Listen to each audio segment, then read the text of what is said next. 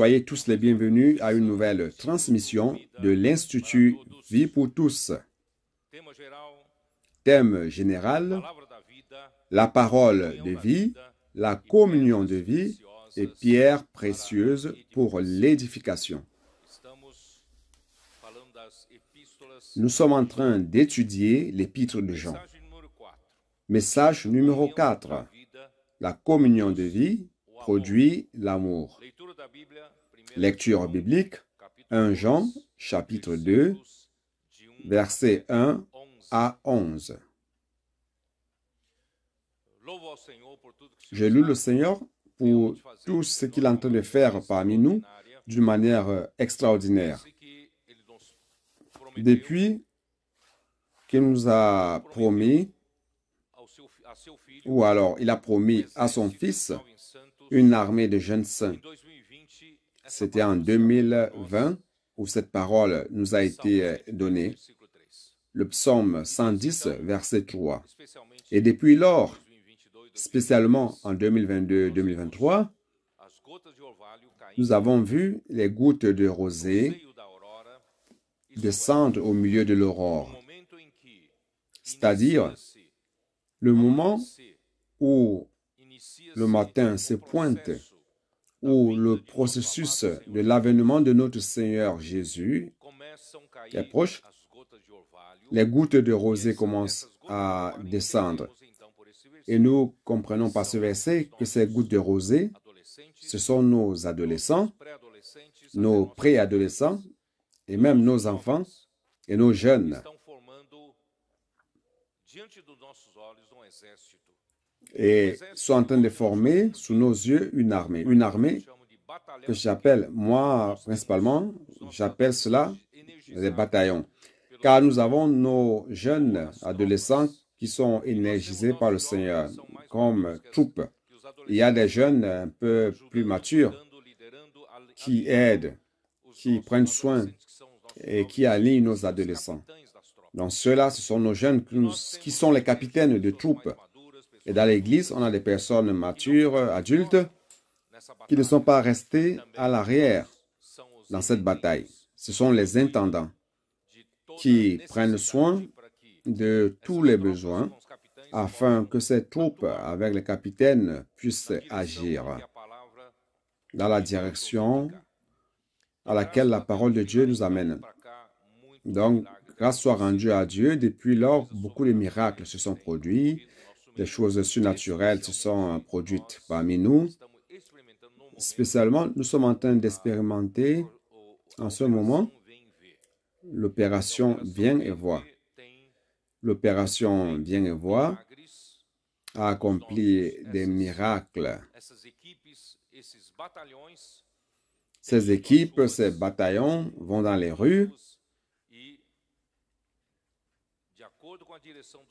et selon la direction du Seigneur, ils abordent une maison et demandent s'il y a un adolescent dans la maison. Et nos adolescents les invitent au viens et vois. Et sans trop expliquer, ils disent tout simplement qu'il s'agit d'une fête, d'une réunion de l'Église à laquelle ils sont invités. Et lorsqu'on demande donc à la maison, ceux de la maison vont demander où est-ce qu'ils vont. Ils disent non, ça sera dans cette maison même qu'ils ont abordé. Et d'une manière incroyable, cette euh, maison s'ouvre. Et à travers le contact des adolescents avec ceux de la maison, ils appellent d'autres adolescents. Et ces autres adolescents appellent aussi leurs contacts qui sont d'autres adolescents.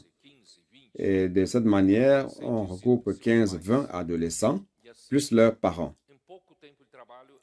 Et en peu de temps de travail, une heure, deux heures, trois heures de travail, on parvient à avoir 50 invités sur les adolescents et les parents. Et aux États-Unis, ils ont fait cela dans plusieurs régions. Après avoir écouté la live parlant de cela, ils sont sortis ils ont pu avoir 100 invités. Frère, c'est quelque chose d'inédit. Cela ne s'est jamais produit dans l'histoire de l'Église. Donc Dieu réellement est en train d'utiliser l'audace et la simplicité de ces adolescents qui sont pleins de vie, pleins de paroles. Et justement avec l'appui des jeunes et des intendants, ils deviennent des outils très efficaces entre les mains du Seigneur pour multiplier le nombre de personnes. Ces personnes qui vivront la vie d'Église. Et maintenant, nous demandons aux églises à prêter attention à cela. Les groupes familiaux dans chaque église doivent prendre soin de ces personnes. Nous, les plus euh, âgés, nous ne pouvons pas rester les bras croisés. Nous devons recevoir ces nouvelles personnes. Prenons soin d'elles, téléphonons, introduisons-les dans les réseaux de soins, ainsi de suite. Principalement, les introduire dans un groupe euh, familial afin qu'elles soient sous le soin car la multiplication peut commencer par les adolescents, mais la consolidation doit être faite par les adultes à travers les groupes familiaux. Donc, euh, frères, l'Église à Sao Paulo a décidé ce mardi, il y aura une réunion par Zoom afin que tous les groupes euh, familiaux soient revitalisés et aussi ceux qui voudraient être utiles au Seigneur en ouvrant un nouveau groupe familiale. Frère, ça sera très utile entre les mains du Seigneur pour la multiplication, la consolidation de nouvelles personnes. Une fois que le nombre de personnes sera complété, alors l'évangile du royaume, par l'évangile du royaume, le Seigneur reviendra. Donc, frère, travaillons pour cela. Faisons partie de cette armée qui va ramener le Seigneur. Donc, réellement, on a beaucoup de témoignages. Je n'ai pas le temps ici, en ce moment-ci, de parler de tout cela. Donc, je voulais juste rappeler de ce que ça, c'est la voie, bien-aimés frères, qui nous suivez. C'est la voie pour la croissance de chaque Église. Car lorsque nous permettons que l'Esprit agisse à travers sa parole, les personnes qui seront ajoutées, c'est le Seigneur qui ajoute et non nous autres. Nous, les hommes, nous n'avons aucune capacité pour cela. Donc, grâce soit rendue à Dieu. Si nous sommes fidèles à la parole et pratiquons cette parole, le Seigneur va nous bénir. Et le nombre de personnes dans les églises va augmenter. Et aussi, frère, la joie sera encore plus grande dans la vie de l'Église. Donc, frère, allons suivre cette direction que l'Esprit a donnée et qui a fait ses preuves, car ça produit beaucoup de fruits et des résultats. Seigneur Jésus. Maintenant, allons commencer le message à proprement parler. Nous sommes dans 1 Jean chapitre 2, versets 1 et 2. Je vais lire versets 1 et 2 qui ont été lus au début de la réunion. Mes petits enfants, je vous ai écrit ces choses afin que vous ne péchiez point. Et si quelqu'un a péché,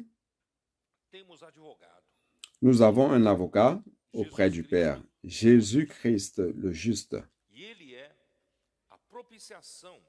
Il est lui-même une victime expiatoire pour nos péchés, non seulement pour les nôtres, mais aussi pour ceux du monde entier.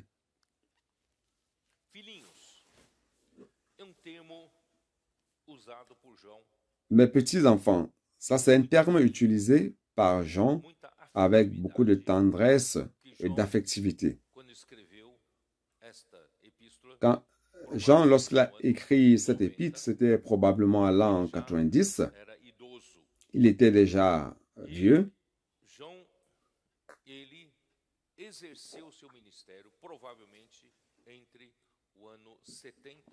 Et Jean a exercé son ministère probablement autour euh, de l'an 70 à l'an 100 du premier siècle. Vous savez que le départ de l'apôtre Paul s'est produit vers l'an 67. Pierre aussi a été martyrisé juste après, durant ces années-là. Alors, Jean a dû commencer son ministère probablement à partir de l'an 70. Il a exercé jusqu'à l'an 100. Lorsqu'il a écrit cet épître, c'était autour de l'an 90, donc il était déjà bien vieux. Et traitant avec beaucoup de tendresse les destinataires de la lettre qui étaient les frères de l'Église. Il dit, je vous écris ces choses. Il s'agit de quelles choses? Ce sont justement ce qu'il qu'il venait d'évoquer dans le chapitre 1, verset 7 à 10, qui parle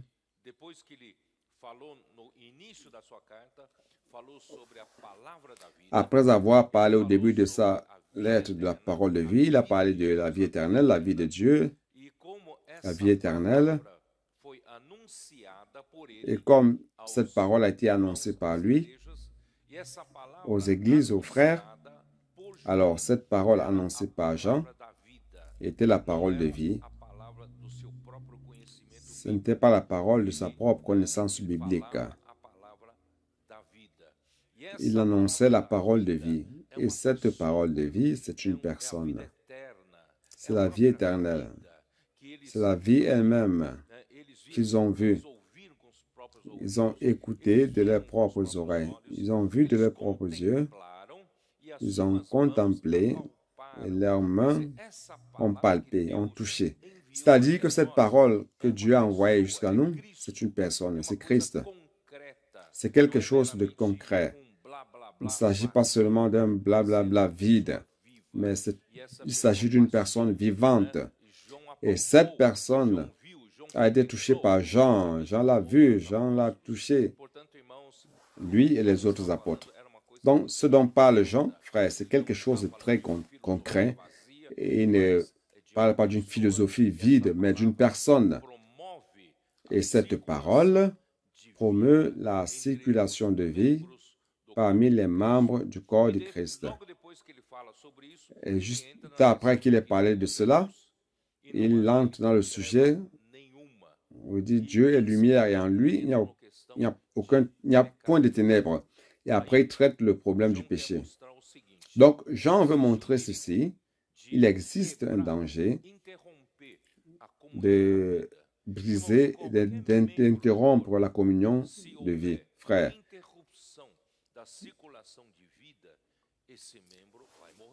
si un membre du corps est interrompu de la circulation de vie, ce, corps ce membre va mourir. Y a-je raison? Oui ou non? Si ce corps, ce membre, pardon, arrête de recevoir la circulation de sang, arrête de recevoir les nutriments et que le sang ne circule plus pour éliminer les toxines, ce membre meurt.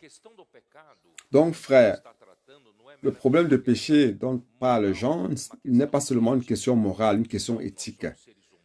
Il ne s'agit pas de dire nous sommes les êtres humains, nous ne devons pas pécher, nous devons être de bonnes personnes, pratiquer de bonnes actions. Il ne s'agit pas de cela. Jean est préoccupé de ce que le péché que nous commettons puisse interrompre la circulation de vie, la communion de vie. Ça, c'est le point principal. Il ne s'agit pas d'une question éthique ou morale, mais du besoin de chacun de nous d'être maintenu vivant avec une bonne santé spirituelle. Donc, frère, le péché interrompt la circulation de vie. Donc, Jean veut montrer ceci. Au dernier verset du chapitre 1, il dit ceci. Si nous disons que nous n'avons pas de péché, nous le faisons menteur et sa parole n'est point en nous. Si sa parole n'est pas en nous, c'est-à-dire que cette parole ne circule plus, ne passe plus par nous. Donc si nous disons que nous n'avons pas de péché, qu'est-ce que Jean veut dire par cela?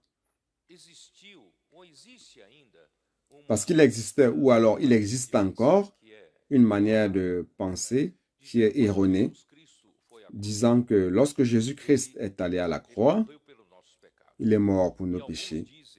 Et certains disent après avoir cru en Jésus, nous n'avons plus de péché. Je dis, nous n'avons plus la nature de péché. Cela est faux. C'est une hérésie de dire que le péché a été éradiqué en nous. nous encore, dans notre vieil homme, nous avons la nature pécheresse. Nous pouvons encore tomber dans le péché. Vous comprenez, frère? Donc, euh, ne vous faites pas d'illusions. Le péché n'a pas été éradiqué de nous. Mais si nous nous maintenons dans la communion du, du corps, dans la circulation de vie, frère, il est plus difficile de pécher. Ai-je raison, oui ou non? Si je vis dans cette communion, et cette communion m'apporte la vie, et cette vie apporte Dieu lui-même en moi, Dieu est lumière. Et ce Dieu qui est lumière, s'il y a encore des vestiges de ténèbres, des vestiges de péché, alors à travers la circulation de vie, je reste en alerte. Et si je pêche, verset antérieur, verset 9 dit ceci, si nous confessons nos péchés, il est fidèle et juste pour nous les pardonner et pour nous purifier de toute iniquité. Frère, l'injustice. Quelle est la différence entre injustice et péché? Frère, l'injustice, c'est le premier signe qui précède le péché. L'injustice peut traverser ma pensée. Peut-être j'ai, j'ai eu des mauvaises pensées par rapport au frère qui servait moi, je n'ai pas aimé sa manière de servir, ou lui n'a pas aimé ma manière de servir, et qui a déjà une mauvaise pensée dans ma tête, dans ma pensée, ça c'est déjà une injustice. Vous comprenez? Je n'ai pas verbalisé cela, je n'ai même pas transformé ça en acte, mais j'ai commencé à ne pas l'aimer. Frère, ça c'est une injustice. Ou pire encore, suivant l'exemple de Lucifer, je sers avec les frères, tout va bien, je suis utile au Seigneur. Grâce soit rendue au Seigneur pour la circulation de vie, je suis utile et tout d'un coup, l'orgueil entre dans mon cœur, comme euh, cela a été le cas de Lucifer, pensant que je suis bon, que je suis meilleur que les autres. Et de la même manière que cela traversait le cœur de Lucifer, les frères ne me reconnaissent pas. Je me dis, ah, je devais être même devant, je pouvais conduire les choses, je pouvais être un des leaders. Et vous voyez, cela fait partie de l'injustice que nous devons traiter. Car si vous ne traitez pas cela et que cela devienne le péché, ça devient un monstre. Et cela va interrompre la communion de vie et vous n'aurez plus d'alimentation et vous mourrez. Donc, frère, traitons n'importe quel indice. Vous pouvez vous dire, est-ce que je dois servir toujours au même endroit? Frère, j'ai commencé comme jeune. Au-delà des autres services, je nettoyais les toilettes dans, les, le local de réunion. Aujourd'hui, dans les locaux de réunion, on contacte les personnes pour nettoyer. Mais à mon époque, ce n'était pas le cas. Nous-mêmes, on nettoyait tout. On ne contactait personne. On nettoyait tout. Et moi, je voulais nettoyer les toilettes. Je lavais les toilettes. Donc, frère, soyez fidèles au peu. Soyez fidèles au peu. Et je te mettrai sur, un plus grand. C'est dans Matthieu 20, n'est-ce pas, dans la parabole.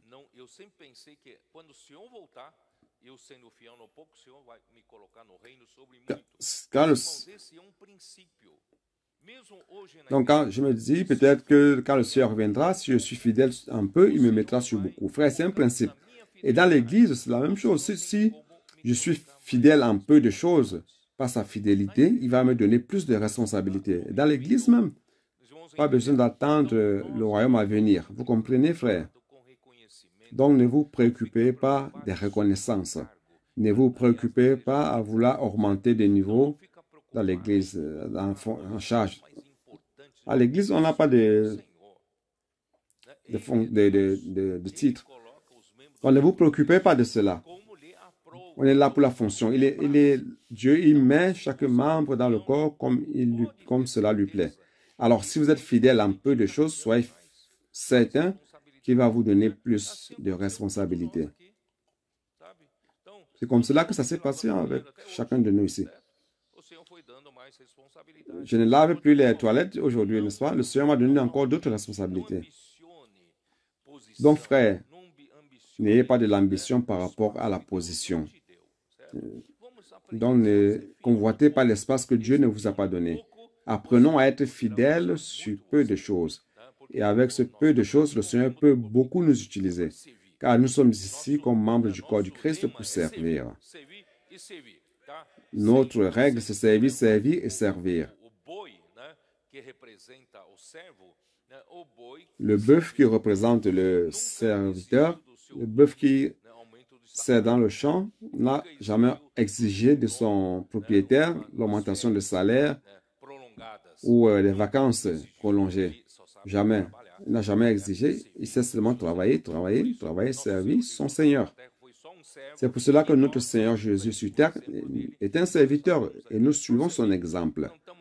Nous sommes ici uniquement pour servir. Nous ne sommes pas ici préoccupés par les récompenses ici ou des éloges. Mais il s'agit de servir le Seigneur. C'est pour cela, frère, grâce au Seigneur. Mais s'il y a un indice d'injustice qui apparaît, car l'injustice et le péché peuvent interrompre la communion de vie. La pire des choses qui puissent euh, se produire contre une, une, branche de vigne, c'est que la sève l'alimente plus cette branche. Donc, si un membre n'a plus la circulation sanguine, ce membre va entrer dans un processus de gangrène et ça va nécroser, ça va mourir. Donc, frère, vous pouvez vous dire, je ne suis pas négatif, je suis juste passif dans mon camp. Je ne participe à rien, je suis tranquille, je ne suis pas négatif, je parle le mal de personne. Mais le fait de ne pas être dans la circulation de vie, vous êtes en danger. Donc, frère, allons retourner rapidement à la circulation de vie. Recevoir la parole de vie, recevoir la vie divine. Entrer dans la communion de vie et ne pas permettre qu'un péché puisse interrompre la communion de vie. Ça, c'est la préoccupation de Jean lorsqu'il a écrit cela. Il ne s'agit pas seulement de faire de vous un homme moral, éthique, un homme qui est bon. Non, ce n'est pas ça la préoccupation. La préoccupation principale, c'est de vous maintenir dans la communion de vie mais seulement maintenant, le chapitre 2 commence. Il dit, si quelqu'un a péché, nous ne sommes pas immunisés du péché. La nature pécheresse est encore en nous. Donc, si nous sommes vaincus par le péché du mal sporadique, nous avons offensé un frère ou alors autre chose. Qu'est-ce qui se passe? Nous avons un avocat qui est auprès du Père, Jésus-Christ, le juste.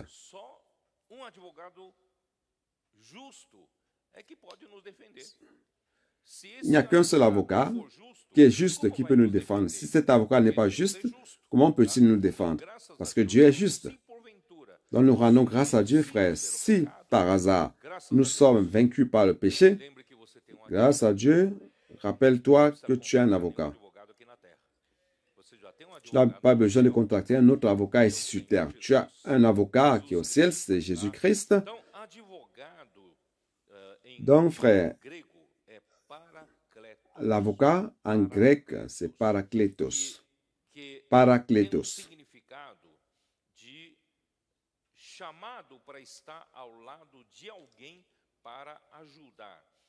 Ça, le sens, c'est appeler quelqu'un à ses côtés pour l'aider dans le domaine euh, juridique devant le juge.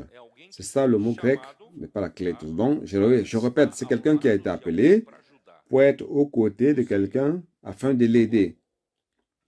Tu as péché, tu as commis une erreur. Comment faire pour ne pas interrompre la communion de vie? Appelle l'avocat. Enfin, Dieu a déjà contracté un avocat pour toi. Cet avocat va t'aider et il va donc euh, t'apporter tout le soutien légal devant le juge. tout le soutien juridique. Notre Dieu est un juge. Il est le juste juge pour pouvoir juger toutes choses. Donc tu as quelqu'un qui peut t'aider. Et le mot consolateur, consoler, le sens de conseiller, d'intercesseur. Allons-y. En fait, on a déjà vu cela. Évangile de Jean, chapitre 14.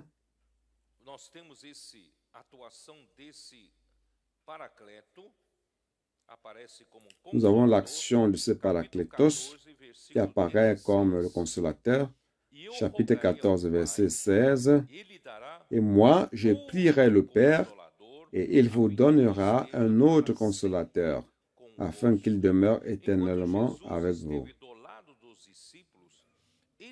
Donc, quand, pendant que Jésus était aux côtés des disciples, il était le consolateur des disciples. En d'autres termes, il était l'avocat auprès du Père. Les disciples, dans leur ignorance, commettaient des erreurs. Mais grâce à Dieu, quand Jésus était avec eux, il était le consolateur, l'avocat, le conseiller. Il était toujours aux côtés des disciples. Si bien qu'il a dit dans Jean 17, ce que le Père m'a donné, n'est-ce pas, je n'en ai perdu aucun, sinon le Fils de la perdition. Donc il est celui qui nous défend, vous comprenez? Il te défend. Mais pour cela, il a dû mourir pour accomplir à notre place la rédemption. Donc, Jésus prierait le Père qui enverra un autre consolateur. Et cet autre consolateur est venu jusqu'à nous comme esprit de vérité et comme paraclétos. Toujours chapitre 14, verset 26. Mais le consolateur, l'Esprit Saint, que le Père enverra en mon nom, vous enseignera toutes choses et vous rappellera tout ce que je vous ai dit.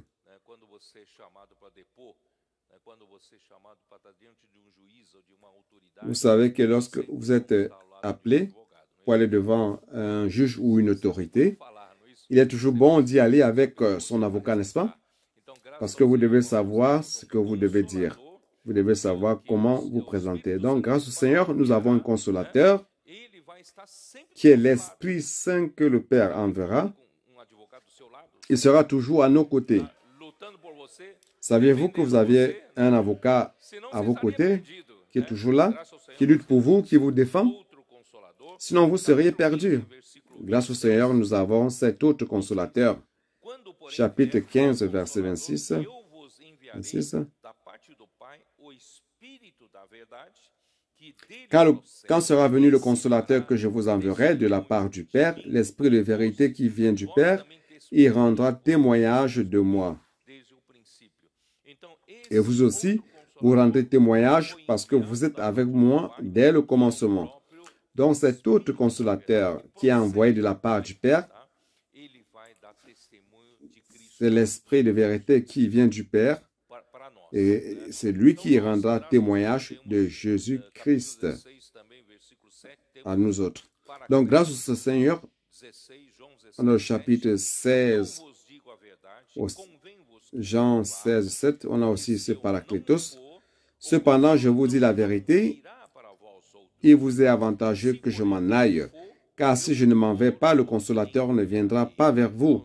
Mais si je m'en vais, je vous l'enverrai.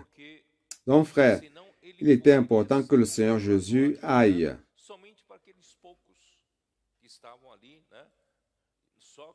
Sinon, il ne serait conseiller ou euh, avocat que de ce petit groupe qui était avec lui. Mais lorsqu'il sera mort et devenu esprit, et reviendra sous la forme d'un autre consolateur, l'esprit de vérité, alors il pourra entrer en tous ceux qui croiront en lui. Donc il est à l'intérieur de nous. L'esprit de vérité qui est à l'intérieur de nous aujourd'hui. Verset 13, qui nous conduira. Il dit, quand le consolateur sera venu, l'Esprit de vérité, il vous conduira dans toute la vérité, car il ne parlera pas de lui-même, mais il dira tout ce qu'il a entendu et il vous annoncera les choses à venir. Donc, frère, nous avons cet esprit à l'intérieur de nous, cet esprit de vérité qui est notre consolateur, il est notre avocat, il va toujours nous aider. Lorsque nous écoutons la parole prophétique, il nous donne la révélation de voir les choses qui vont se produire. Pourquoi? Pourquoi parvenez-vous à percevoir les choses que les autres ne voient pas? Parce que vous avez un autre consolateur. Vous avez l'esprit de vérité qui vous conduit dans toute la vérité. Donc, frère, cela nous donne aussi la révélation de ce que la parole de Dieu n'est pas tout simplement l'être. On a besoin de révélation. Cet autre consolateur vous donne la révélation et vous conduit dans toute la vérité. Donc, frère, d'un côté, dans Marc 16, nous voyons ce que... Je vais juste prendre Marc 16 pour ne pas prendre d'autres versets. Verset 19 de Marc 16, il dit ceci. Le Seigneur, après les avoir parlé, fut enlevé au ciel et il s'assit à la droite de Dieu. Donc, d'un côté, notre Seigneur Jésus est au ciel. Il est assis à la droite de Dieu. Et dans une position la plus élevée de l'univers. Et les autres autorités sont sous son autorité. Il n'y a personne qui ait plus grande autorité que la sienne. Donc, frère, le chef de l'Église est là au ciel. Mais il ne nous a pas laissés seuls. C'est cela qu'il dit dans Jean 14, je ne vous laisserai pas orphelins. Nous ne sommes pas ici comme des orphelins. Le Seigneur Jésus est au ciel, mais en même temps, il est ici comme esprit de vérité, comme paraclétos, comme avocat. Il est à vos côtés maintenant. C'est pour cela, cela peut être prouvé dans le verset suivant, dans Marc 16, 20. Et ils s'en allèrent où? Pour prêcher l'évangile. Alléluia. Nous suivons cet exemple. Nous sortons pour prêcher l'évangile. Car c'est l'ordre, c'est ça l'ordre du Seigneur. Allez-y sur toute la terre. Toute autorité m'a été donnée au ciel et sur la terre. Le Seigneur Jésus l'a dit en Matthieu 28. Allez partout sur toute la terre, faites de toutes les nations les disciples. Quand nous obéissons, nous allons dans les rues pour prêcher l'évangile. Qu'il pleuve ou qu'il neige, qu'il y ait des difficultés ou pas, nous sommes ici pour accomplir la volonté du Seigneur. Ils s'en allèrent prêcher partout. Ne choisissez pas les endroits, prêcher en tout lieu. Le Seigneur travaillait avec eux. Mais le Seigneur n'est-il pas au ciel? Lorsque nous obéissons à la parole de Dieu, quand nous sortons pratiquer la parole et prêchant l'évangile, le Seigneur qui est là au ciel vient ici sur terre. Il est ici comme Paraclétos. Il est ici comme cet avocat, comme l'esprit de vérité, comme le consolateur. Au milieu d'une situation difficile de prédication de l'évangile, l'ambiance pourrait être hostile, vous n'arrivez pas à avancer. C'est comme si le ciel tombe sur votre tête. Mais rappelez-vous que vous avez quelqu'un à vos côtés. Celui-là qui est à côté de vous, qui est à vos côtés, c'est l'avocat, le paraclétos. C'est un autre consolateur, c'est l'esprit de vérité.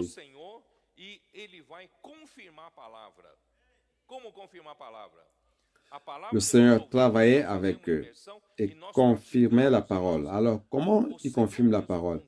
Nous écoutons la parole, nous faisons l'immersion, nous pratiquons, frère. Le Seigneur lui-même confirme la parole. Par les miracles qui l'accompagnent. Cela nous accompagne, frère. Depuis combien de temps, le 19 siècle de l'histoire de l'Église, c'est comme si les miracles du premier siècle, à l'époque des apôtres, avaient disparu de l'Église. Je ne me réfère pas aux choses de, de Pentecôte, du pentecôtisme, mais je parle plutôt des signes de l'avancement de l'Évangile. Ce que l'Esprit avait fait durant les premiers siècles, ça a disparu. Où sont les signes? Où sont les prodiges? grâce au Seigneur, c'est revenu. C'est revenu. Pourquoi?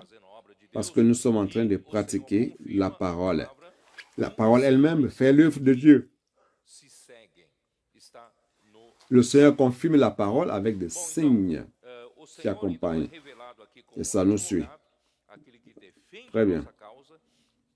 Donc le Seigneur est révélé comme avocat, comme celui qui défend notre cause et qui est auprès du Père. D'un côté, il est avec vous et de l'autre côté, nous devons avoir un avocat qui est auprès du juge, n'est-ce pas? Car s'il te condamne, tu es perdu. Donc notre Seigneur Jésus est l'avocat qui est auprès du Père et défendant notre cause.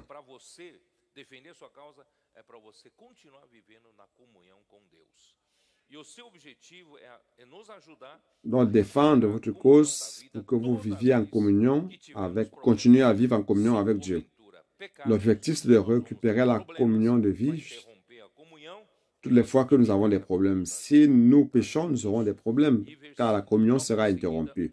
Mais il nous aide immédiatement en cela, à récupérer la communion. Donc, juste après, il est le seul homme juste, Romains 5, 18. Seigneur Jésus. Romains 5, 18 qui dit ceci. Ainsi donc, comme par une seule offense, la condamnation atteint tous les hommes, de même, par un seul acte de justice, la justification qui donne la vie s'étend à tous les hommes.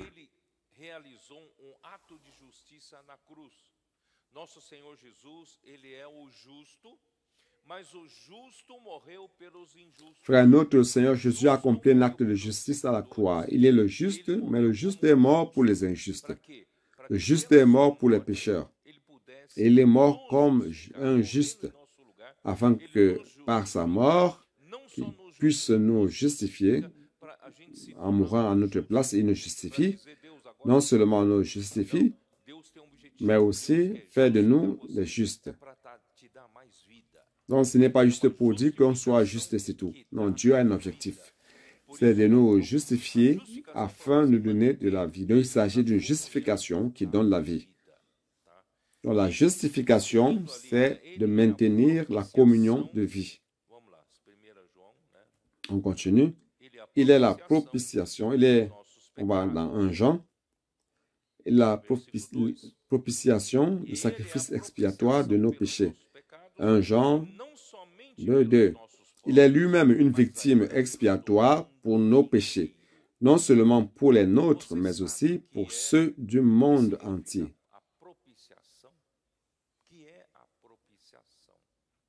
Vous savez ce que signifie euh, la propitiation ou euh, la victime expiatoire? Romains 3, allons voir. Romains 3,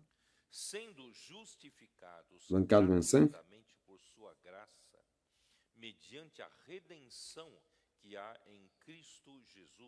Et ils sont gratuitement justifiés par sa grâce, par le moyen de la rédemption qui est en Jésus-Christ.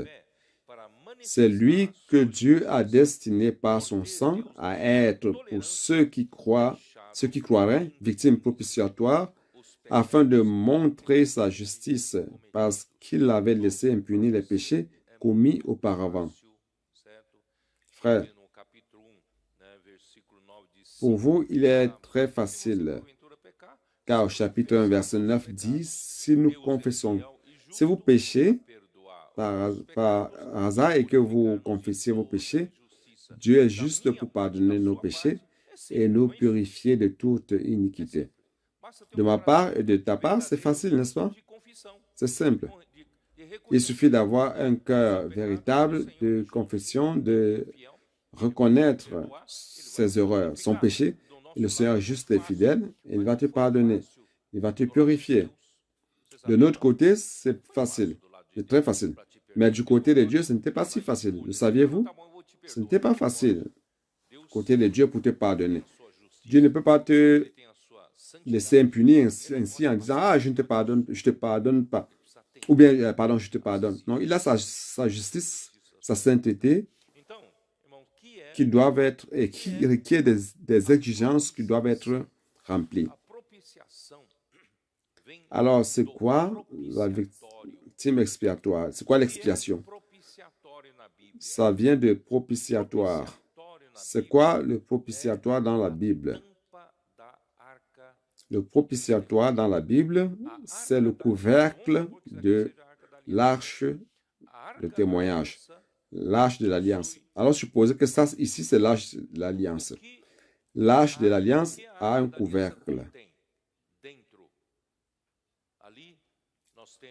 L'arche de l'alliance contient quoi à l'intérieur? Dedans, nous avons les deux tables de loi, la manne secrète et le bâton de Aaron qui a fleuri. Donc dans l'arche, nous avons les deux tables de loi.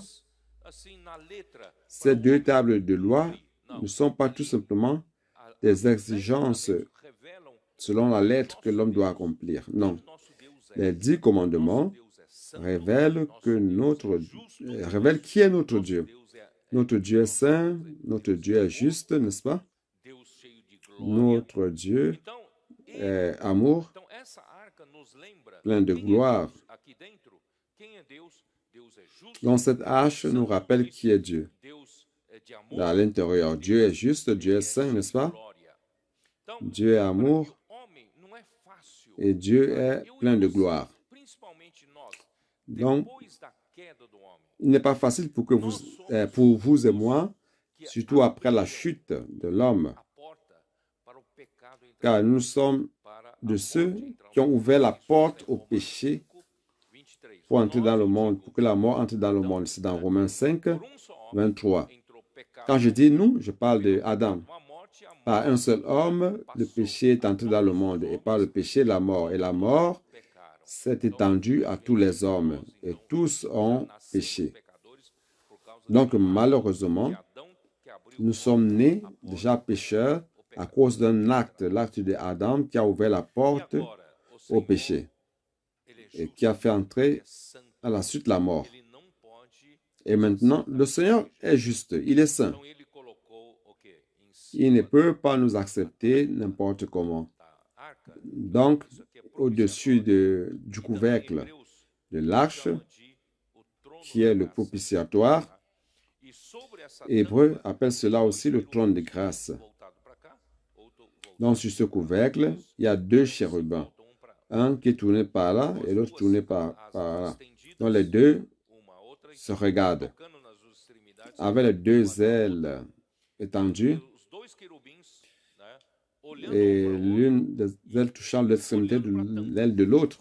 Les deux chérubins se regardant et regardant le couvercle, se tournant vers le couvercle. Et donc ils sont attentifs pour voir qui entre dans le Saint des Saints. Car l'arche de l'Alliance serait dans le Saint des Saints, dans le lieu très saint où se trouve Dieu. Donc si vous et moi voulions avoir une, rencontre avec Dieu, avoir la communion avec Dieu. Les gens appellent cela la communion de vie. Or, notre communion, c'est avec le Père et son Fils Jésus-Christ. Nous sommes invités à cette communion, à cette rencontre avec Dieu. Et cette rencontre avec Dieu ne peut pas se faire n'importe comment, car Dieu est juste, il est saint. Il y a ces deux chérubins qui représentent la gloire de Dieu. Ils regardent si quelqu'un entre par le voile du Saint du Saint et qui ne répond pas aux exigences de la gloire, la sainteté, la justice de Dieu, cette personne est fulminée, vous le savez, foudroyée, le saviez-vous? Donc, si vous entrez n'importe comment, vous mourrez à l'instant. Vous êtes foudroyé. Donc, vous et moi, comment alors donc avoir contact avec Dieu ou la communion avec Dieu? Pour vous, c'est facile de dire, ah, la communion de vie, alléluia, j'ai la rencontre avec Dieu, je parle avec Dieu. Mes frères, pour que cela se produise, ça n'a pas été facile. C'est pour cela, frère, que Christ est la sagesse de Dieu qui a planifié tout cela. Il est la puissance de Dieu, il a exécuté tout cela. Il a préparé un moment où vous pouvez avoir contact avec lui. Allons-y.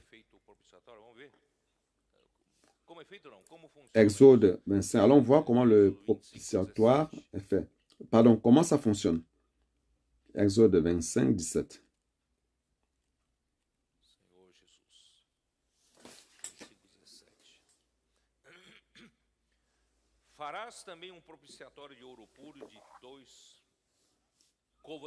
Tu feras un propitiatoire d'or pur. Sa longueur sera de deux coudées et demi et sa largeur d'une coudée et demie. Tu feras deux chérubins d'or. Tu les feras d'or battu aux deux extrémités du propitiatoire. Fais un chérubin à l'une des extrémités et un chérubin à l'autre extrémité. Vous ferez les chérubins sortant du propitiatoire à ces deux extrémités. Les chérubins étendront les ailes par-dessus, ouvrant de leurs ailes le propitiatoire, le propitiatoire. Et se faisant face l'un à l'autre, les chérubins auront la face tournée vers le propitiatoire. Tu mettras le propitiatoire sur l'arche et tu mettras dans l'arche le témoignage que je te donnerai. C'est là que je me rencontrerai avec toi du haut du propitiatoire entre les deux chérubins placés sur l'arche du témoignage. Je te donnerai mes ordres pour les enfants d'Israël. Frère Moïse était le seul qui pouvait entrer dans le Saint des Saints quand il voulait. Moïse est sur le même principe que nous autres du Nouveau Testament, car nous aujourd'hui, nous pouvons entrer dans le Saint des Saints. Le Saint des Saints se trouve dans notre esprit. Nous pouvons entrer à tout moment. Mais le principe continue. Notre esprit est le propitiatoire. Il y a des chérubins qui sont là, le saviez-vous? Qui veillent sur la gloire de Dieu, la justice de Dieu, la gloire de Dieu. Dans l'arche de témoignage, au-dessus, au milieu du chérubin, c'est l'endroit de rencontre entre l'homme et Dieu.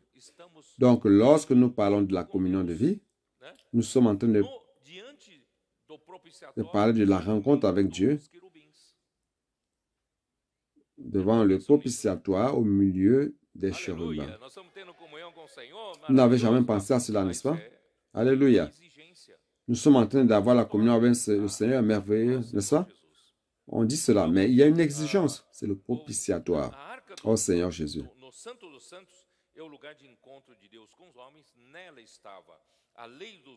Dans le Saint des Saints, c'est le lieu de rencontre de Dieu avec les hommes.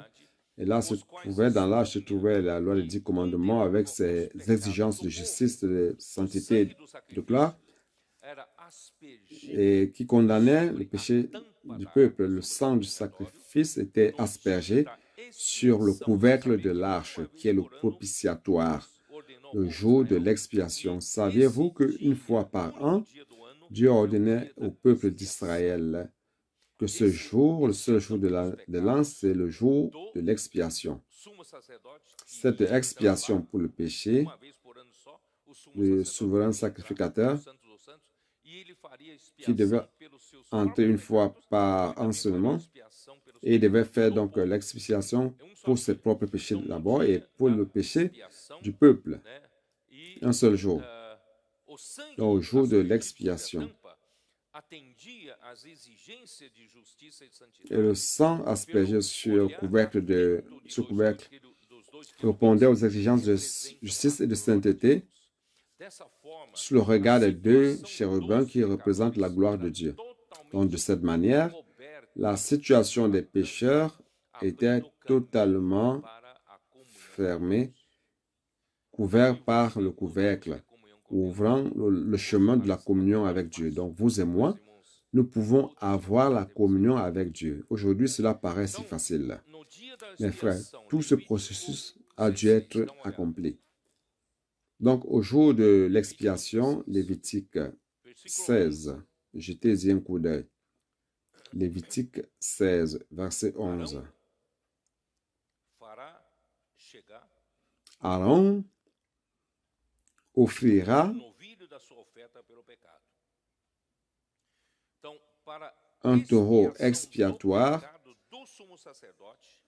Donc, pour l'expiation du péché du souverain sacrificateur, il devait apporter un taureau pour le sacrifice.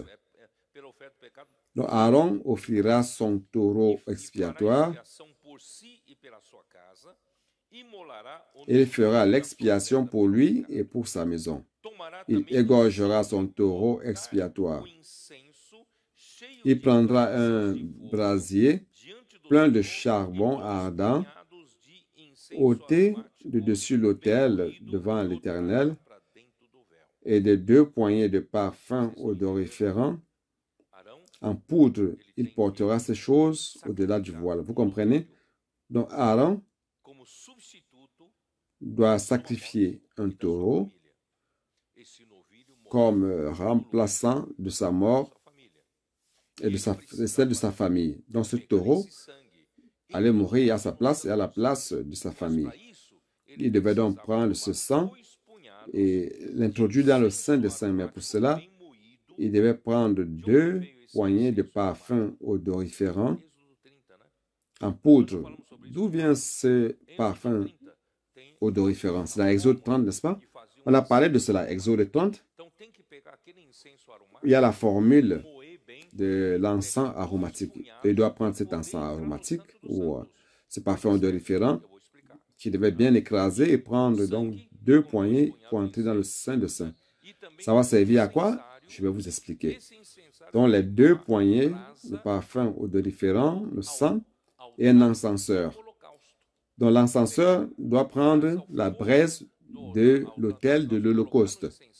On prend la braise, le feu de l'autel de l'Holocauste, on met dans l'encenseur.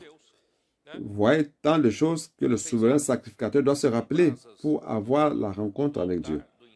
Donc l'encenseur, avec la braise de la table de l'Holocauste, deux poignées de parfum odoriférant et le sang du taureau et il devait entrer et ouvrir le voile.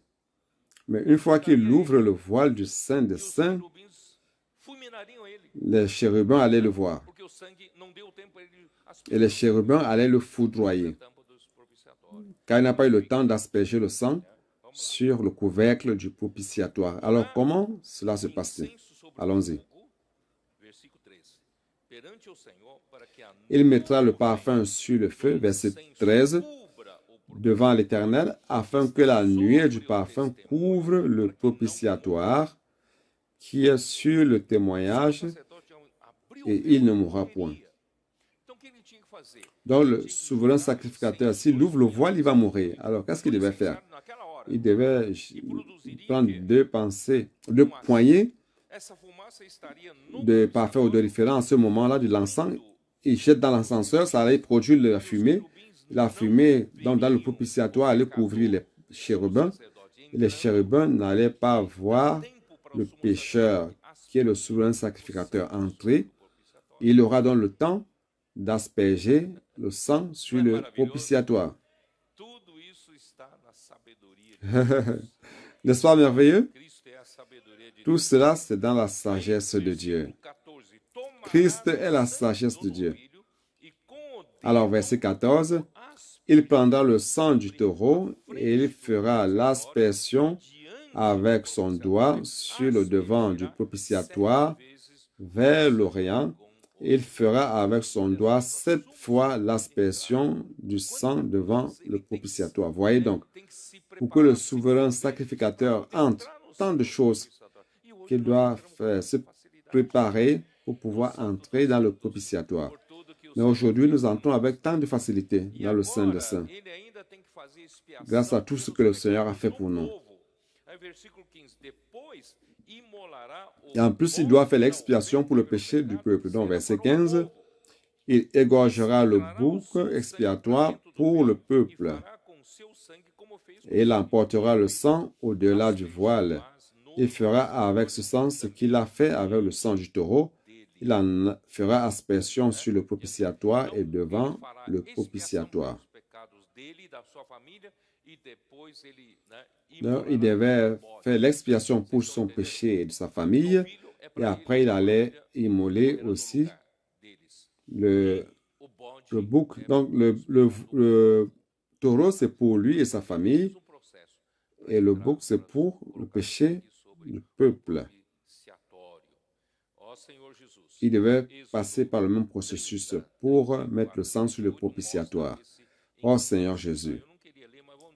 Exode 30, 30 34 montre cet ensemble. Je ne voulais pas lire, mais il faut que je vous montre cela. Exode 30, 34.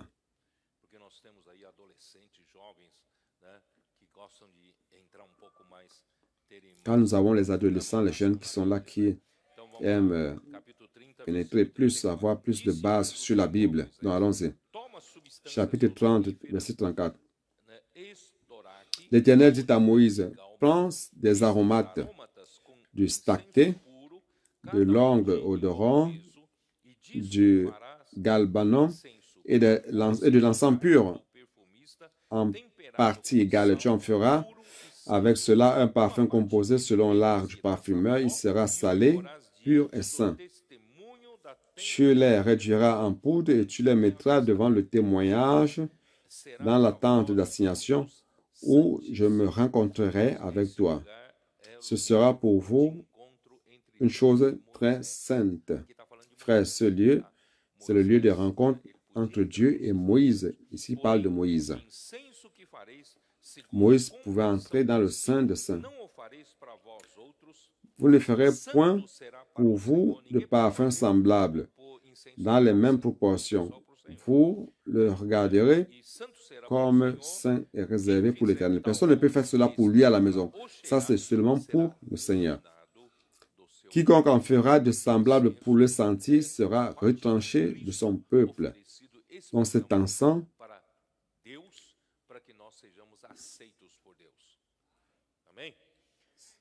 C'est la part de Christ offert à Dieu pour que nous soyons acceptés de Dieu.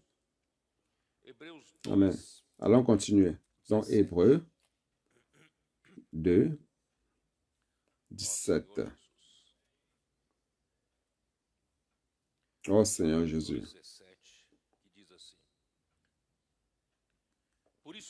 Hébreu 2, 17 qui dit ceci.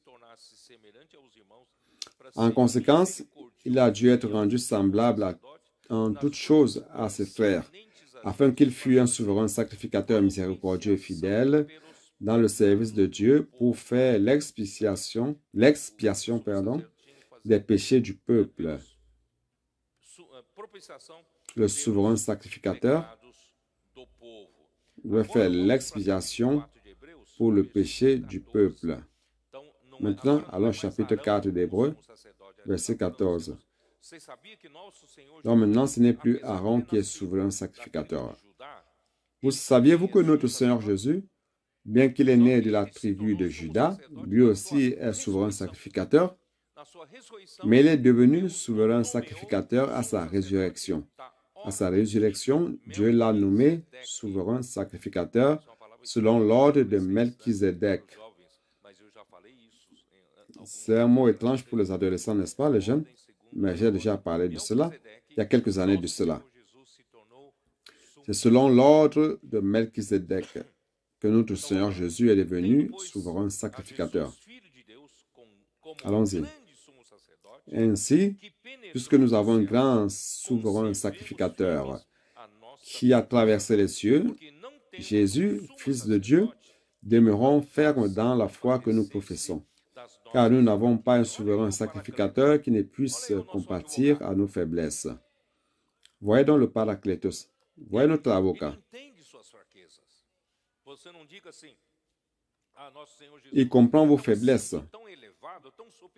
N'est-ce pas, tu dis, notre Seigneur Jésus est si saint, si élevé, si supérieur qu'il ne comprend pas mes, faiblesses. Il comprend, bien sûr qu'il comprend. Il est devenu un homme bien qu'il n'ait pas péché, il connaît la faiblesse de l'homme. Il comprend tes faiblesses. Donc nous n'avons pas un souverain sacrificateur qui ne puisse compatir à nos faiblesses. Au contraire, il a été tenté comme nous en toutes choses, sans commettre de péché. Approchons-nous donc avec assurance du trône de la grâce où se trouve ce trône de la grâce? Ce trône de la grâce, c'est le propitiatoire. Donc maintenant, frère, entrons avec confiance, avec assurance dans la, le du propitiatoire, sans peur de mourir, car notre avocat a tout préparé pour nous. Donc, approchons-nous avec assurance du trône de la grâce afin d'obtenir miséricorde et de trouver grâce pour être secouru dans nos besoins.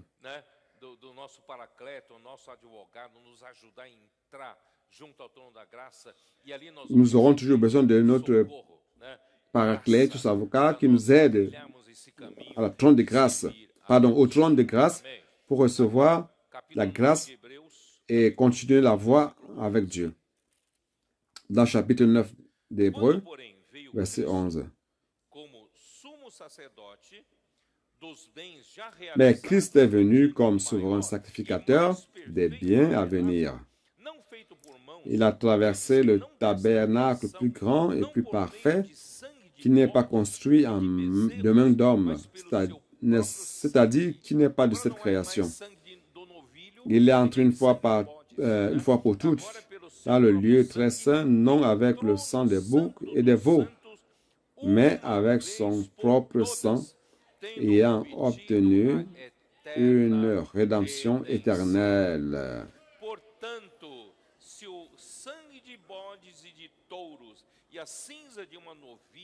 Car si le sang des taureaux et des boucs et la cendre d'une vache répandue sur ceux qui sont souillés sanctifie et procure la pureté de la chair, combien plus le sang de Christ, qui par un esprit éternel s'est offert lui-même sans tâche à Dieu, purifiera-t-il votre conscience des œuvres mortes, afin que vous serviez le Dieu vivant?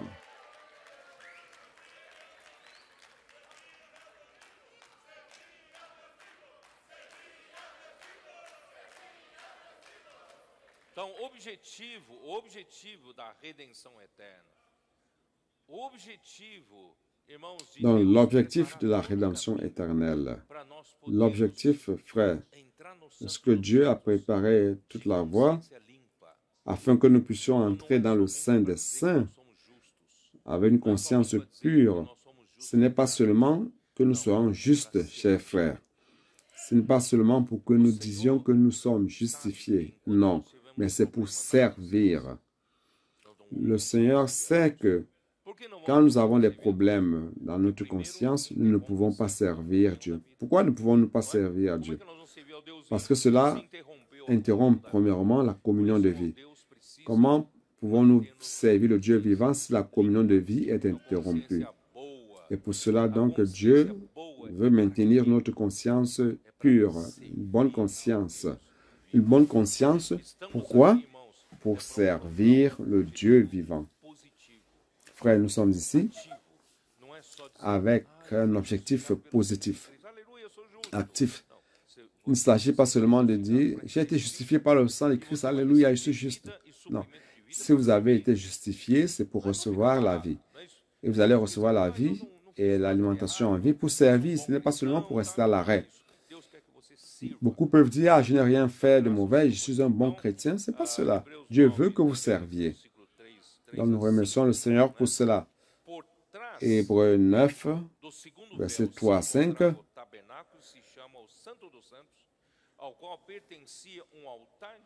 Derrière le second voile se trouvait la partie du tabernacle appelée le Saint de Saints, renfermant l'autel d'or pour les parfums et l'arche de l'alliance entièrement recouverte d'or. Il y avait dans l'arche un vase d'or contenant la manne, la verge d'Aaron qui avait fleuri et les tables de l'alliance. Au-dessus de l'arche étaient les chérubins de la gloire couvrant de leur ombre le propitiatoire. Ce n'est pas le moment de parler en détail là-dessus. Donc, frère, tout ce processus qui s'est produit dans l'Ancien Testament, toutes les exigences du Seigneur dans l'Ancien Testament, aujourd'hui nous avons la réalité de cela. C'est dans le Nouveau Testament, dans la Nouvelle Alliance. Aujourd'hui, frère, nous jouissons de tout ce que notre avocat fait pour nous. Il a préparé tout le terrain C'est pour cela qu'il est la propitiation pour le péché du monde. Donc, je dois avancer un peu plus. Je ne dois pas trop traîner. 1 Jean 2. Allons au verset 3 à 6. Si nous, si nous gardons ces commandements, par là nous savons que nous l'avons connu. vous pouvez vous dire, je connais le Seigneur, je connais Dieu. Vous ne connaissez Dieu que lorsque vous gardez ses commandements, lorsque vous pratiquez la parole. Il ne s'agit pas seulement d'être un grand connaisseur de la parole biblique de Genèse à Apocalypse, mais si vous ne gardez pas les commandements, si vous ne gardez pas la parole du Seigneur, si vous ne pratiquez pas la parole du Seigneur, le Seigneur vous dira, en fait, je ne t'ai jamais connu. Tu me connais juste par la doctrine, mais tu ne me connais pas. Donc, il n'y a que ceux qui pratiquent la parole qui connaissent le Seigneur. C'est lui qui dit, je l'ai connu et qui ne garde pas ses commandements est menteur. La vérité n'est point en lui. Mais celui qui garde sa parole, l'amour de Dieu est véritablement parfait en lui. Par là, nous savons que nous sommes en lui. Celui qui dit qu'il demeure en lui doit marcher aussi comme il a marché lui-même. Qu'est-ce que cela veut dire? Tout ceci? Frère, cela veut dire quoi? Que pendant que nous écoutons la parole, et si nous gardons la parole, frère, c'est pas comme nous l'entendions dans l'Ancien Testament. Dieu a donné la loi, allons garder la loi, pratiquons ce que la loi nous ordonne. Frère, la parole du Seigneur nous donne la capacité de garder la parole. Nous avons toujours cette idée erronée des chrétiens, cette idée erronée de ce que la parole de Dieu est ici pour que nous pratiquions la parole. Mais les gens pratiquent comme on pratique la loi. On peut faire ceci, on ne peut pas faire cela. Frère, nous n'avons aucune capacité. Si le peuple d'Israël, il n'y a personne qui a été trouvé capable d'accomplir la loi. Et c'est nous, dans le Nouveau Testament, que nous allons accomplir les paroles du Seigneur, Jésus. C'est impossible. Donc, la voie que le Seigneur nous a donnée, c'est la voie de la communion de vie. Nous n'avons la capacité que lorsque cette parole nous donne la capacité. La communion de la parole de vie, qui est la communion dans la vie éternelle. Christ lui-même circulant entre nous, nous euh, produisant en nous la communion de la vie, c'est lui qui nous donne la capacité d'accomplir la parole. En fait, c'est lui qui fait accomplir la parole, ce n'est pas nous. C'est lui qui donne les, produit les fruits, ce ne sont pas les branches. Ce qui produit les fruits, c'est la vigne elle-même. N'est-ce pas? Jésus n'a pas dit cela? Allons-y dans Jean 15.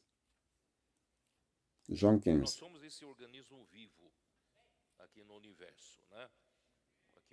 Que nous sommes cet organisme vivant ici dans l'univers. Allons-y.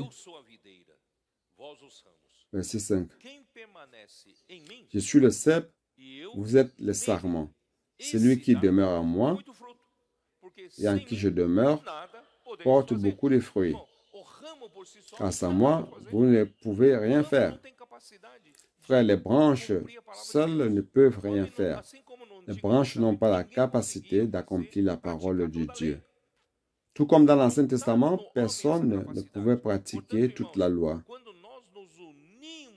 L'homme n'a pas en lui cette capacité. Donc, frère, lorsque nous nous unissons au Seigneur à travers la parole dans la communion de vie, lorsque nous nous unissons organiquement à la vigne, qu'est-ce qui produit, qu'est-ce qui fait en sorte que la, que la branche produise euh, les fruits? C'est la vigne à travers la sève.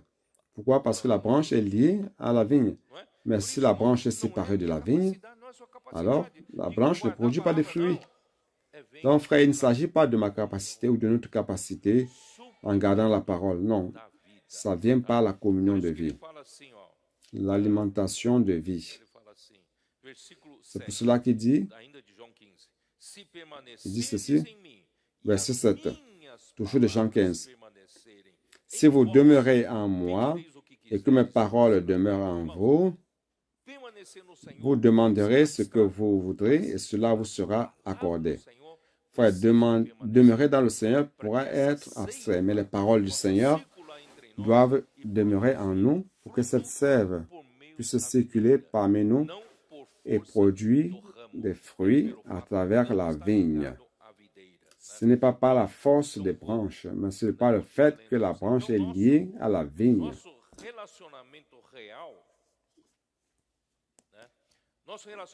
Dans notre relation réelle, notre relation réelle avec Dieu ne vient pas par nos sentiments, par notre capacité de pratiquer par nous-mêmes la parole du Seigneur. Mais ça vient par le fait que nous gardions sa parole. Nous recevons la parole de Dieu à travers celui qui annonce. Jean était celui qui a annoncé la parole de vie. Et cette parole produit la communion de vie ceux qui écoutent et pratiquent la parole. Frère, c'est ainsi que l'Église a la capacité de produire des fruits.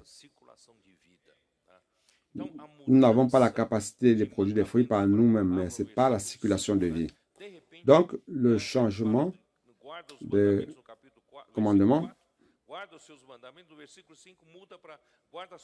Verset 4, il, parle de garder le commandement. Verset 5, il parle de garder sa parole.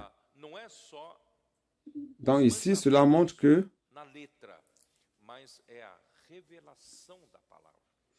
cela montre qu'il ne s'agit pas seulement des commandements dans la lettre, mais la révélation de la parole.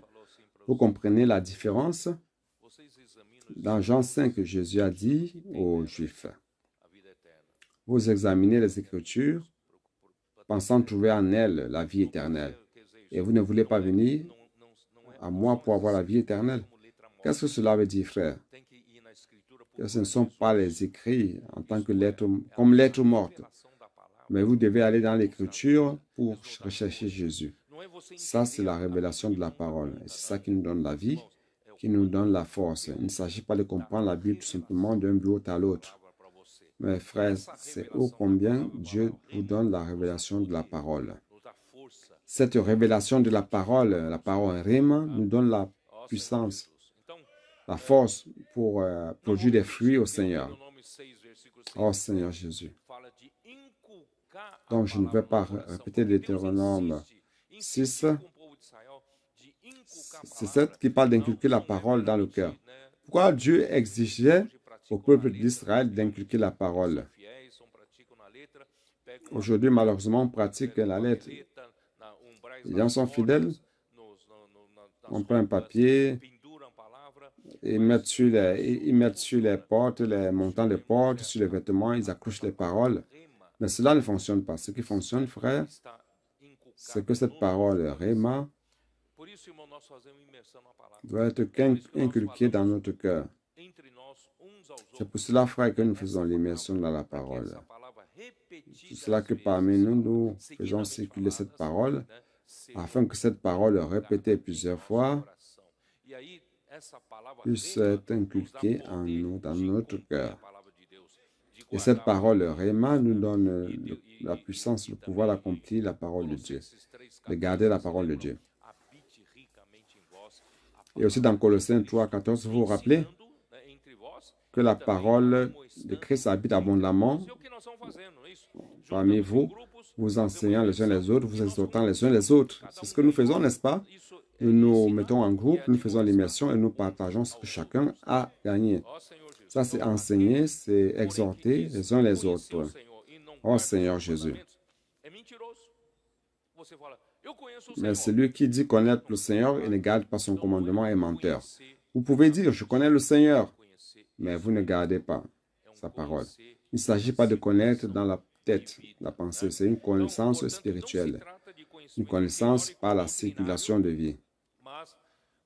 Donc, il ne s'agit pas d'une connaissance théorique doctrinale, mais d'une connaissance réelle et subjective de celui qui vit en communion de vie, par la circulation de la parole, dans le corps de Christ. Donc, celui qui garde réellement sa parole est réellement l'amour de Dieu perfectionné en lui? Frère, cette circulation de vie, de cette circulation de vie, Dieu veut produire quoi en fin de compte? Il veut produire plusieurs membres qui sont matures en vie. Dieu veut produire comme résultat final l'amour. L'amour, c'est le résultat le plus parfait que Dieu veut avoir parmi nous. Donc, si nous connaissons le Seigneur et par la circulation de vie, nous faisons la communion de, communion de vie, et si on a des problèmes de nous aimer les uns les autres, cela prouve que qu'il n'y a pas de réalité de, de tout ce que Dieu désire en nous. Donc, le produit final, frère, c'est l'amour. L'amour de Dieu doit être parfait en nous à travers la circulation de vie. Donc celui qui garde réellement sa parole, en lui est perfectionné l'amour de Dieu. En cela, nous savons que nous sommes en lui, car l'amour de Dieu se manifeste en celui qui réellement garde sa parole. Ceux qui vivent la communion avec Dieu et avec les frères.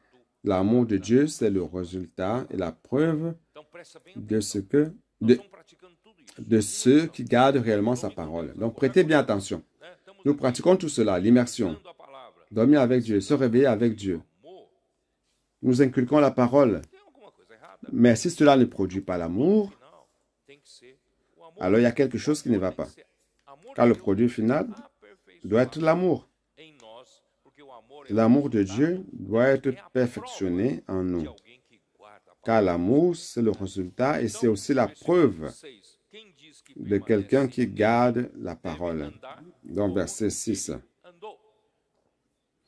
Celui qui dit qu'il demeure en lui doit marcher aussi comme il a marché. Mais il ne s'agit pas d'une imitation externe. À mon époque, il y avait certains qui suivaient un livre qui disait ceci. qui disait à ta place, que ferait Jésus? Ce demande-là, je pense que vous vous rappelez de cela. Je vais peut-être faire telle chose. Je vais prendre une décision, par exemple. Je vais pratiquer telle ou telle chose. Alors je me dis, à ma place, si c'était Jésus, comment Jésus agirait? Quelle décision Jésus prendrait-il? Frère, beaucoup de chrétiens suivaient cela. Les gens disaient, ah, si c'est Jésus, c'est moi Jésus, certainement je ne choisirais pas cette voie qui a le chemin, cette voie qui a le péché, mais je choisirais plutôt autre voie. Mais ça, c'est bon, mais ce n'est pas suffisant. Ce que le Seigneur veut, c'est quelque chose d'organique. Il veut un lien organique. Nous marchons comme Jésus a marché sur terre parce que nous sommes liés organiquement à lui. Si nous ne sommes pas liés organiquement à lui, ça ne sert à rien de faire une imitation externe.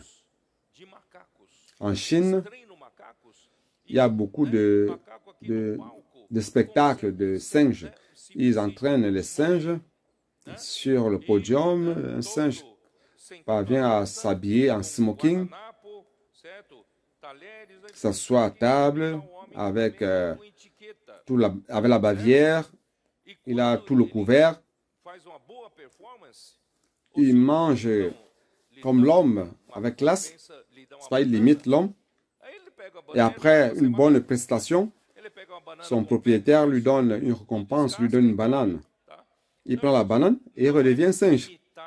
Il prend la banane avec les pieds, il épluche et il mange. Donc, frère, il ne s'agit pas d'imiter Jésus. Il s'agit d'avoir la vie de Jésus. Comment pouvez-vous avoir la vie de Jésus? Ce n'est pas la parole.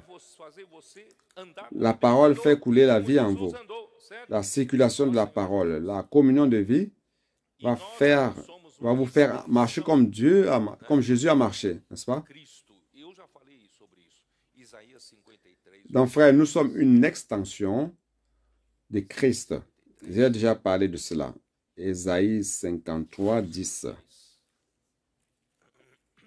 Ésaïe 53, verset 10.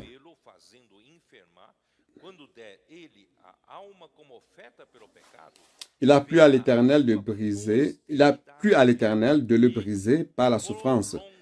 Après avoir livré sa vie en sacrifice pour le péché, il verra une postérité et prolongera ses jours. Comment Christ, après sa mort, va-t-il voir sa postérité et prolonger ses jours s'il est déjà mort? Frère, cette postérité et le prolongement de ses jours, c'est l'Église. Donc celui qui voit l'Église, qui regarde l'Église, doit voir Christ amplifié. Il doit voir Christ. Donc nous marchons sur terre comme Christ marchait sur terre. L'Église est l'expansion de Christ. Si nous regardons l'évangile de Jean, nous voyons notre Seigneur Jésus. Allons-y, Jean chapitre 6. Ça, c'est notre Seigneur Jésus. Dieu veut que nous marchions comme lui. Jean 6, 38 à 40. Car je suis descendu du ciel pour faire non ma volonté, mais la volonté de celui qui m'a envoyé. Or, la volonté de celui qui m'a envoyé, c'est que je ne perde rien de tout ce qu'il m'a donné, mais que je le ressuscite au dernier jour.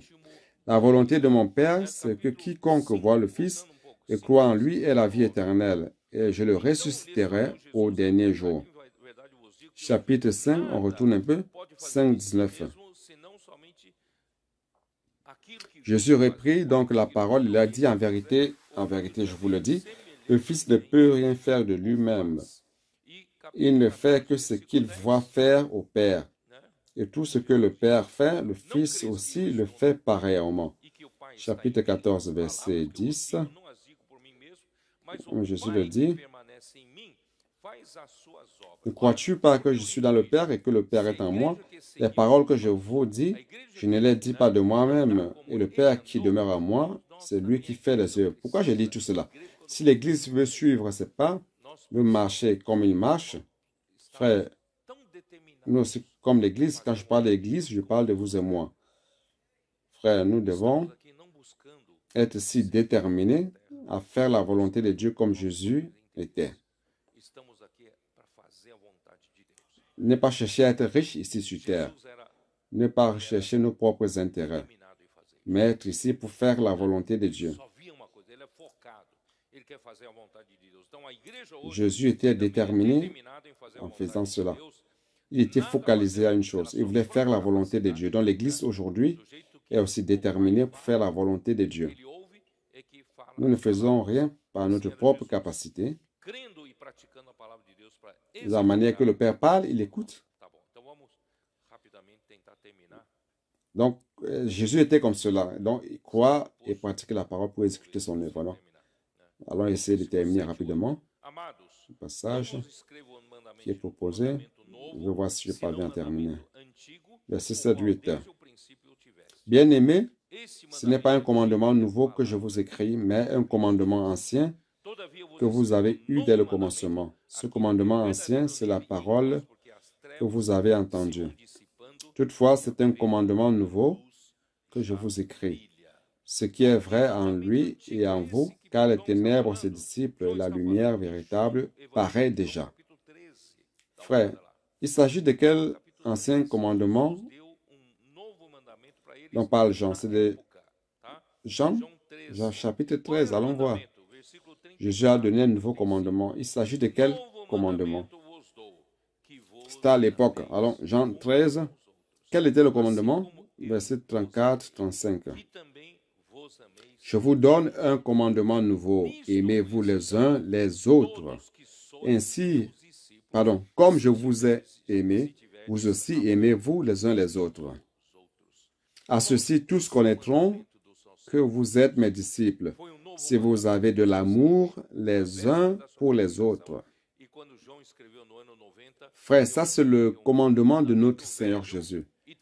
Le nouveau commandement à la veille de sa crucifixion. Et lorsque Jean a écrit à l'an 90, parlant de, du vieux commandement et du nouveau commandement, Le nouveau commandement ou le commandement nouveau, c'est que nous nous aimions les uns les autres. Si nous vivons en union organique avec lui, dans la communion de vie, la parole étant inculquée en nous, nous donnant, donnant la capacité et la puissance pour pouvoir vivre, faire la volonté de Dieu, certainement, frère, l'amour sera engendré en nous ou produit en nous. Sinon, nous n'allons pas faire ce qui est correct.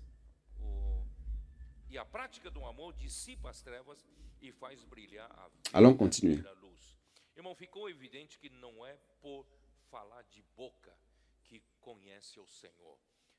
La pratique de l'amour dissipe les ténèbres et fait briller la véritable lumière. Il est évident qu'il ne s'agit pas de dire juste du bout des lèvres qu'on connaît le Seigneur. Ils ne connaissent pas le Seigneur juste par les paroles, mais en gardant sa parole. Et, et pareillement, l'homme ne parvient pas à s'aimer les uns les autres parce qu'il a décidé. Ah, j'ai décidé d'aimer les frères maintenant. Ça, ça ne marchera pas. Frère, celui qui va me donner la capacité d'aimer, c'est la circulation de vie. C'est cette parole.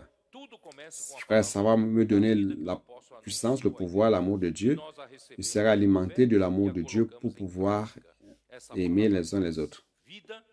Donc tout cela commence par la parole de vie que l'apôtre annonce dans l'Église. Nous recevons par la foi et nous la mettons en pratique. Cette parole apporte la vie, l'amour de Dieu. Cette parole produit la communion avec Dieu et avec les frères à travers la circulation de vie, par la parole, à travers les membres du corps. De cette manière, ça produit l'amour fraternel entre les frères. Allons terminer la, la lecture. 1 Jean 2, verset 9. Celui qui dit qu'il est dans la lumière et qu'il est son frère et encore dans les ténèbres. Celui qui aime son frère demeure dans la lumière et aucune occasion de chute n'est en lui. Mais celui qui est son frère est dans les ténèbres. Il marche dans les ténèbres et il ne sait où il va parce que les ténèbres ont aveuglé ses yeux. Donc, frère, la communion de vie produit l'amour parmi les frères et fait en sorte que nous vivions dans la lumière, car Dieu est lumière. Et celui qui vit dans la lumière ne peut haïr son frère. Lorsque Lucifer, le fils de lumière, a eu l'ambition de monter en position pour être égal au plus haut, au très haut, certainement, il avait un objectif d'être un roi adjoint de Dieu pour traiter des sujets concernant la créature mais elle a été précipitée dans le, dans le ténèbre, dans le royaume des morts. C'est dans Ésaïe 14, 12 à 15, je vous ai déjà lu. Donc Lucifer, déconnecté du seul véritable Dieu, est devenu le diable, le menteur et père du mensonge. C'est dans Jean 8, 44. Et là, il est dit qu'il a été homicide dès le commencement. Il était le responsable de la mort de Abel car il a provoqué la jalousie, l'envie en Caïn, dans le cœur de Caïn, car son frère Abel a plu à Dieu, lui et son offrande. Et Caïn était jaloux, envieux, et de l'envie surgit la haine. Si vous laissez croître la haine, ça vous entraîne à l'homicide. Donc, frère, lorsque l'envie surgit dans votre cœur, vous devez traiter cela. Lorsque la haine apparaît, c'est déjà pire, mais nous devons encore traiter notre cœur afin de ne pas tuer notre frère. Il ne s'agit pas de tuer physiquement, mais vous pouvez tuer à travers votre haine. Donc, frère, faisons attention afin de demeurer dans le flux de l'écoulement de vie. Le psaume chapitre 2, je n'aurai pas le temps de lire maintenant. Mais frère, cela montre combien le diable Lucifer, qui était Lucifer, voulait être le numéro 2 de l'univers. Mais il s'est rendu compte que Dieu ne voulait pas de lui comme numéro 2 et a choisi son fils Jésus-Christ afin d'être celui qui va hériter toutes les nations. Il a choisi et établi son fils comme roi sur le mont Saint. Et pour cela qu'il a eu, il était jaloux de l'élu de Dieu. Il a provoqué la colère des nations contre son oint, ses disciples. Mais peu importe, Dieu a établi notre Seigneur Jésus-Christ comme roi sur les nations. C'est pour cela que nous prêchons l'évangile du royaume afin de l'établir comme roi. Donc, déconnecté de Dieu qui est lumière, Satan a établi son royaume dans l'empire des ténèbres. C'est dans Colossiens 1.13. Il gouverne le monde des ténèbres avec ses princes, ses princes et ses autorités qui sont les dominateurs de ce monde ténébreux, qui sont les forces spirituelles du mal. C'est dans Éphésiens 6, verset 12. Déconnecté de Dieu qui est amour, il est la source de la haine. C'est pour cela, frère, que toute haine vient de lui. C'est pour cela que celui qui aime son frère ne peut être dans la lumière, car il est dans les ténèbres. Celui qui aime son frère demeure dans la lumière et en lui, il n'y a point d'objet de chute. Jésus avait dit dans Jean 11, allons offrir le dernier verset, Jean chapitre 11, verset 9-10, comme il est dit. Jésus répondit, n'y a-t-il pas douze heures au jour? Si quelqu'un marche pendant le jour, il ne bronche point, parce qu'il voit la lumière de ce monde. Mais si quelqu'un marche pendant la nuit, il bronche parce que la lumière n'est pas en lui. Jésus dit, je suis la lumière de ce monde. Celui qui vit dans la communion de vie vit en Christ, qui est la lumière du monde et lumière de vie. Donc, frère, celui qui vit dans la lumière ne tombe point. Celui qui vit dans les ténèbres tombe parce qu'il ne voit pas le bout de son nez. Parce que marcher dans les ténèbres, vous pouvez euh, trébucher sur n'importe quoi. N'est-ce pas? Donc, frère, marchons dans la lumière. Sinon, vous allez trébucher sur n'importe quoi. L'immersion te fait trébucher. Les cris de guerre te font trébucher. Le frère parle plus haut, ça te fait trébucher. Parce que tu ne vois pas plus loin que le bout de ton nez, car tu es dans les ténèbres. Frère, c'est pour cela que nous devons marcher dans la lumière. Qu'est-ce qui va prouver que je suis dans la lumière, dans la communion de la lumière Frère, nous, nous, aimons les uns les autres. Il n'y a pas de haine.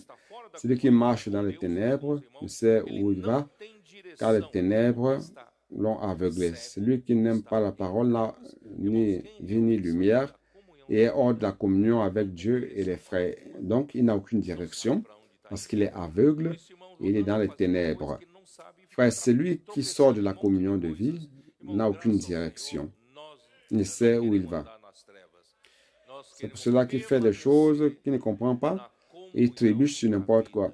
Donc, frère, donc grâce au Seigneur, nous ne voulons pas marcher dans les ténèbres.